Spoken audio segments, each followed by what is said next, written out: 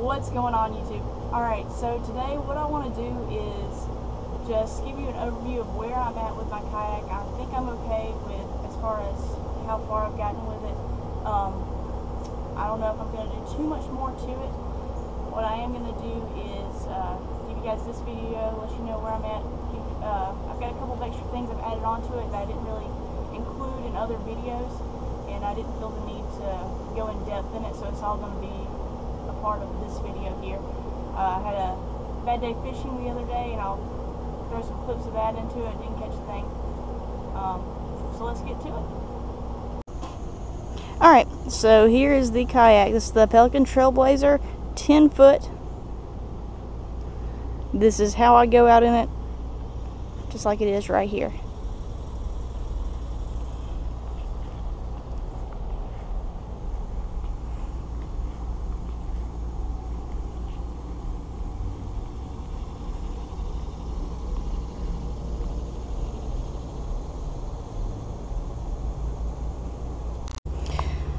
Okay, so the first thing I added to this, I've already done a video on, and that is this paddle holder right here. I haven't had any issues at all with it. Uh, this paddle stays in there.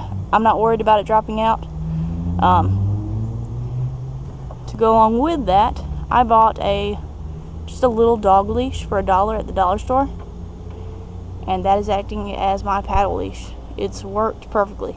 Um, when I was fishing in Jocassee, I had to drop it at one point when I was getting a bite, and I didn't have to worry about it at all. Moving on, the second thing that we did was add these little uh, deck loops or D loops right here.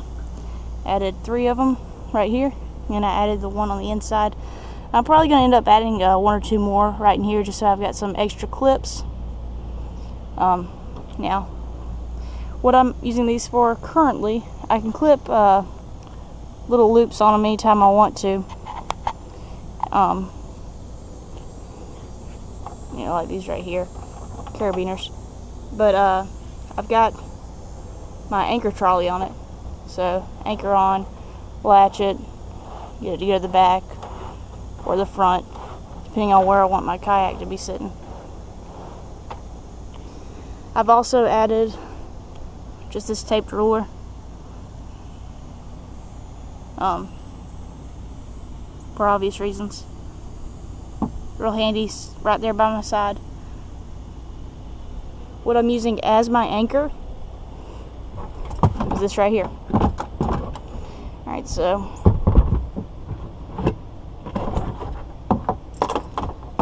it's attached to a dog leash. Let it loose, it drops. This is 26 foot. Um, it's got a little light on the top of it in case I need that. And uh, haven't had any issues with it at all. It's worked perfect. Uh, I attach it to the little loop up here. And let it go. Um, extra thing you might want to have on you. Uh, I haven't used this yet. I haven't had the need to. But we are planning on going camping in our kayaks once it starts getting a little bit cooler. These dry bags. Uh, this is a fairly large one. I'll give you an example of how big it is. Uh, we can fit a couple of towels in there, any clothes we need, maybe a little bit of food. Um, it's going to stay dry as long as it's not, you know, submerged for any length of time. That's not what they're meant for. I may do a review on this one right here as needed.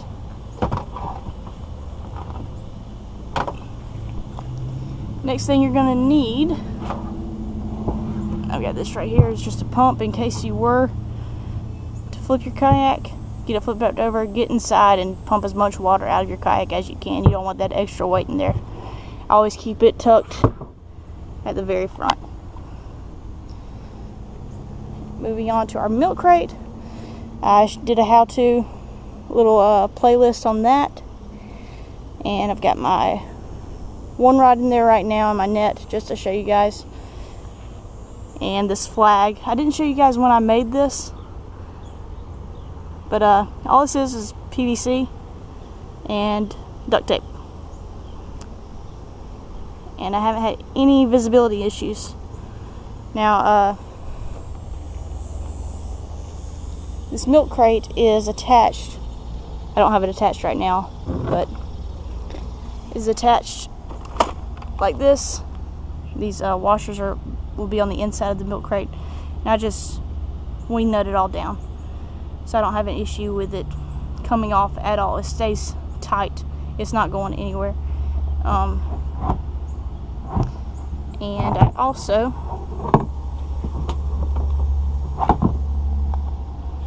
cut this area out right here. I did a video on that also. Um, just for extra storage for when we do decide to go camping. I'm not using it for fishing or just, you know, going on the, out on the lake for a day, but uh, just for a little bit of extra uh, storage for when we do decide to take those long trips. And that is about it. So, an overview. Do I like this kayak? I love this kayak. It's extremely lightweight. I don't have a problem getting it up on top of my roof rack at all by myself. Um, you know, that means going out on the lake by myself to go fishing isn't an issue at all. Uh, so that's convenient. Um, you know, I don't have any issue with the tracking, it stays straight. Uh, haven't had any issue with the weight I put in it. Although, I mean, that's about all I've carried in it so far. When I go camping, I'll do another review on it and uh, let you guys know how that goes with the extra weight in there for the tent and all that. Um, any negative, I'll probably be fixing this right here. This is the, uh,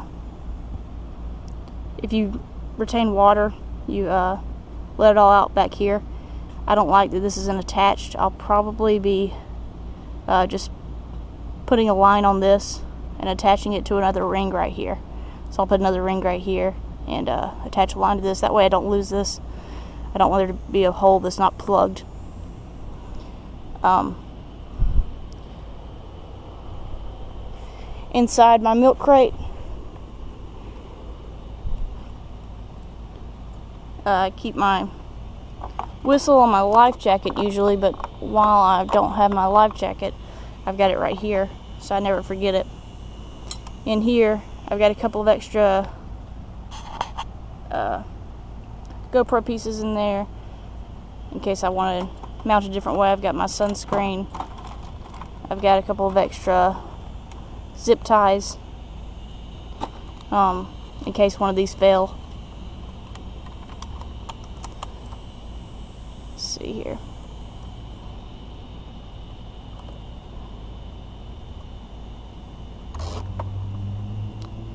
Down below, it's gonna be all my fishing stuff. I've got a thing of duct tape in there uh, for a quick fix.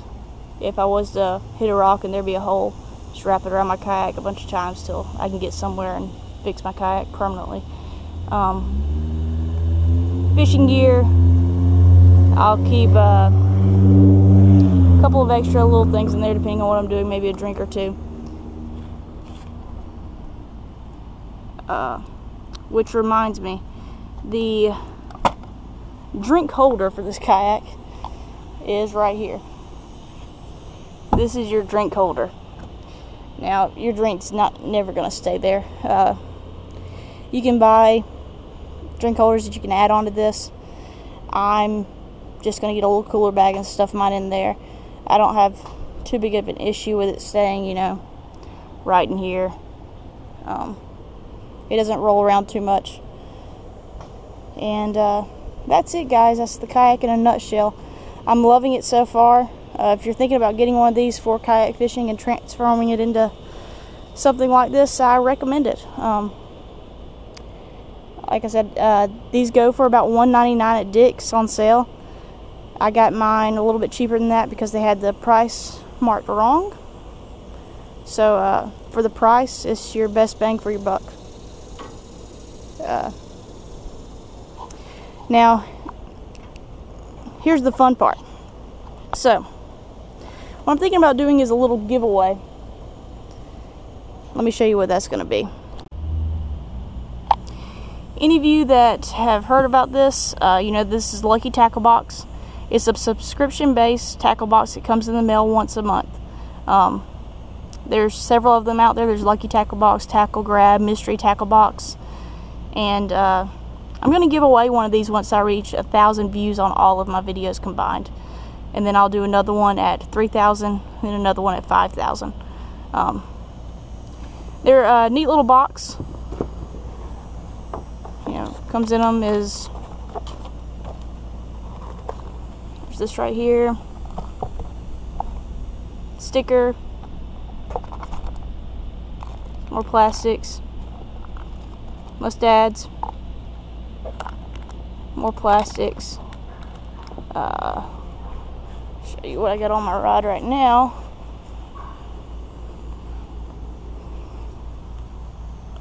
Let's see. That came in it this past month. I took it out of the box. Um, but if you're interested in getting this uh, I'll post a video once I reach a thousand views on all of my videos. So uh, make sure you're watching all my videos, uh, sharing them, liking, subscribing. And uh, what I'll do is just have people comment on that specific video. And I'll do a random generated thing and pick somebody and have this sent to you. I'll get in contact with you. It's a pretty cool little box. Free tackle for you guys. So keep watching, like my videos, subscribe, and I'll catch you next time.